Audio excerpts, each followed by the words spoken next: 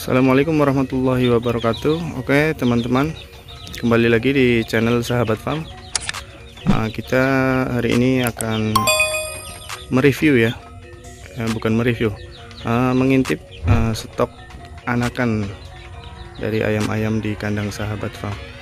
Oke langsung saja.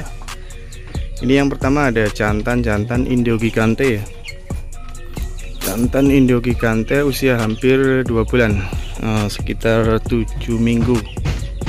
Kita ready ada tiga ekor ya. Tiga ekor jantan Indio gigante. Kualitas insya Allah bagus kaki besar-besar tinggi. Ya. Untuk selanjutnya kita juga ready uh, blue australop varietas blue australop ada satu pasang dan jantan Black Australop usia satu bulan ada satu pasang eh ada satu ekor.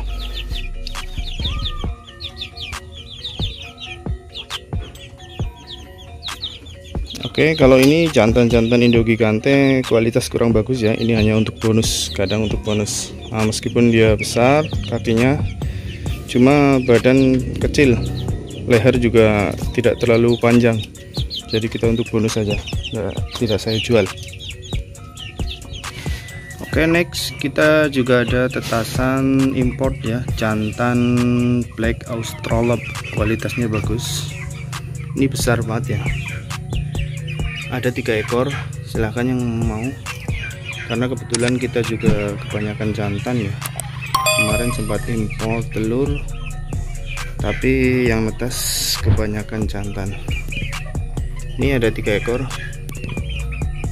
Kualitas bagus ya kaki besar-besar tinggi ayamnya. Ya next kita juga ada jantan Indio Gigante usia 3 minggu ada satu ekor ya. Kalau ini cornish cornish belum kita keluarkan karena untuk bibit. Ini juga tetasan import ya. Ini jantan Indo Gigante usia 3 minggu. Dan selanjutnya ini juga ada usia 4 minggu. Jantan juga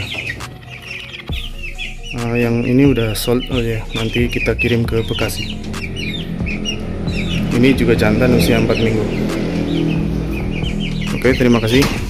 Assalamualaikum warahmatullahi wabarakatuh. Bismillah Assalamualaikum warahmatullahi wabarakatuh.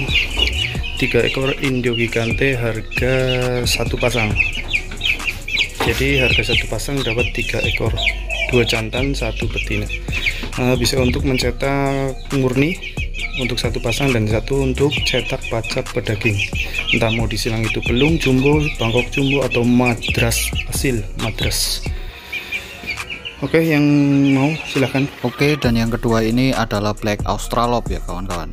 Ini Black Australop uh, tetasan import. Ini masih pure land. Kita tetaskan sendiri telurnya kita import sendiri dari Turki ini masih bagus banget untuk uh, pacek ayam upgrade Australop yang tersebar di Indonesia. Insya Allah posturnya serta warna bulunya akan lebih bagus. Nah untuk teman-teman semua atau kawan-kawan semua uh, yang berminat silahkan saja kontak kami di uh, nomor WhatsApp yang tertera di bawah video ini untuk perbedaan sendiri dari ayam uh, Black Australop yang sudah tersebar di Indonesia dengan ayam yang kita tetaskan atau yang kita impor di warna bulu serta uh, besar gempalnya ayam. Jadi ayam impor ini insya lebih gede dan tentunya tidak inbreed semisal kita silangkan dengan uh, Australop yang ada di Indonesia Oke mungkin sekian dulu video singkat dari sahabat farm. Jika ada kritik saran masukan silahkan tinggalkan jejak di bawah kolom komentar. Terima kasih